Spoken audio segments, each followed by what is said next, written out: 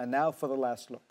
Loyal viewers of our show might remember a story we did a couple of years ago on the Mine Kafon. This ball like structure looks like art, but is actually a wind powered landmine clearing device. The ball rolls around landmine danger areas until, boom, it finds one and blows itself up. Well, now its creator, the Afghani artist Masood Hassani, has just launched a Kickstarter campaign for